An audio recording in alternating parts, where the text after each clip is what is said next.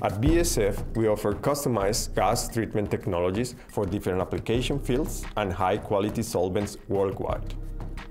Our technical experts are visiting the plants, providing their expertise, knowledge and support to our customers. This happens in plants all over the world, usually in remote locations close to the gas fields. Plant reliability is a top priority for our customers. Many customers want BASF experts right there on location for advice and support. So we came up with the idea of a new platform to further develop our service components, offering additional services on a BASF web platform that the customer can access in real time.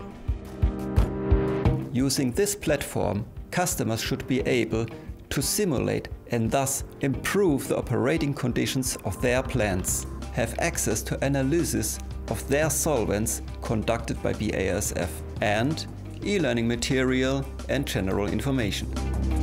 To illustrate our ideas of this platform, we created prototypes and discussed them with our customers to gather feedback.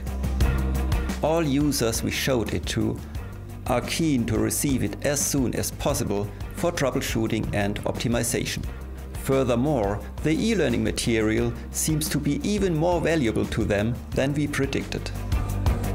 And how does it benefit us? Well, it facilitates discussions and analysis of customer issues based on the shared information and distinguishes our offering significantly.